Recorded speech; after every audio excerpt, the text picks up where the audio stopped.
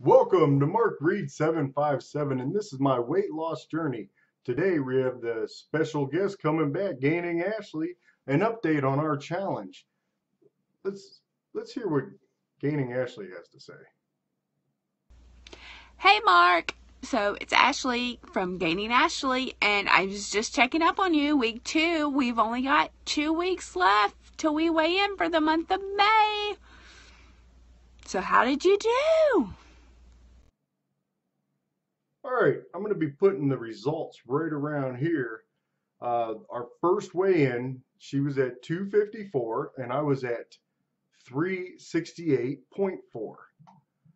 This week's weigh-in, she was at 250.2 and I was at 363.6.